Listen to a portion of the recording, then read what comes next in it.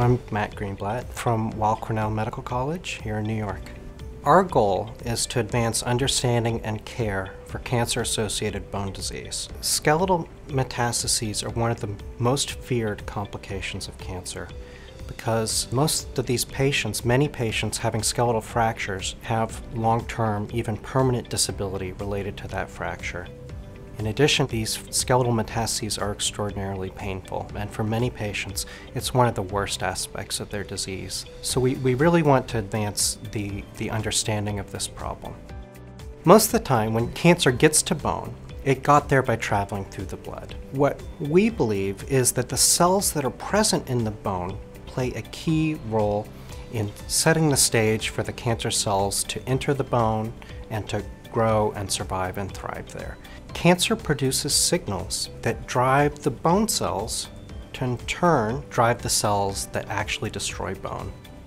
We think that cancers are actively changing the ratio between these cells that promote their growth and promote bone destruction and the cells that prevent all of those things. And that this is one of the strategies that cancers that are successful invading the bone employ. And so we're looking for ways to understand and reverse those changes. The idea for this project comes from work that recently came out of my lab.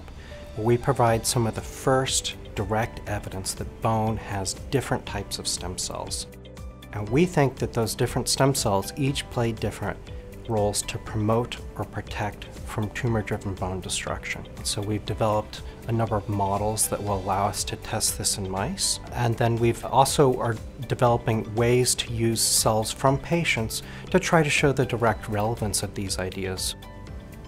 We don't know how cancer cells change the balance between these good and bad stem cells in bone. This is one of the ideas that we're going to explore in this project. The Pershing Square Sohn Prize allows us to pursue a new and bold direction emerging from very recent work that we've performed. Our goal is to tip the balance back towards the stem cells in bone that we believe will protect from bone destruction and prevent tumor growth, and find ways to reverse those cancer-driven changes in the composition of cells in the bone.